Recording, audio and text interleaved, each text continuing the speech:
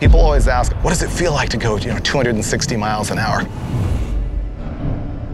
It's sort of like driving on the moon. Parachute. The biggest thing about land speed racing is that it's all about personal achievement. Parachute. Fuel. Fire. Ignition.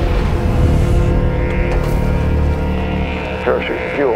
Fire. Ignition. It's what makes our life have value. Parachute. Fuel. Fire.